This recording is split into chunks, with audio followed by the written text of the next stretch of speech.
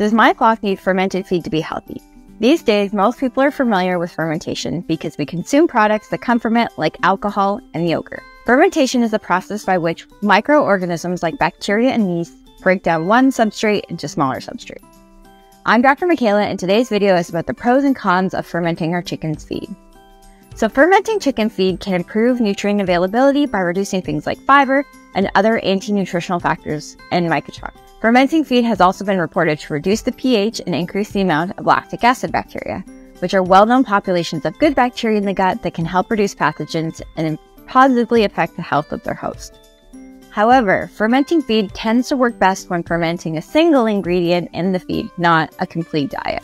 So there are risks associated with fermenting feed. Fermentation end products are highly dependent on the fermentation conditions, the microorganisms in the feed, and the nutrients available. For this reason, research on fermented feed is highly variable. Poor fermentation can lead to off putting compounds that can reduce feed intake, and fermented feed can spoil and grow molds that can harm our chickens. Also, a side note sprouted seeds or grains are different from fermented feed. Sprouted seeds are germinated seeds. In other words, the plants are growing, but in fermented feed, the bacteria and or yeast are growing.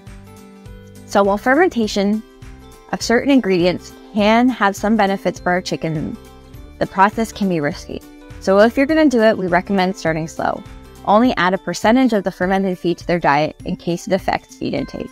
And if you are finding fermenting your feed a little overwhelming, a less risky way to introduce good populations of bacteria in your birds is through supplementation.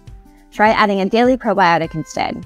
You could start with flock leader water supplements like Thrive for daily supplementation, or if your birds are experiencing stress, try one of the products from our Recover line. For more information on chicken feed, reach out to us at backyardchicken.com. If you found this video useful, like it and subscribe to our channel for more.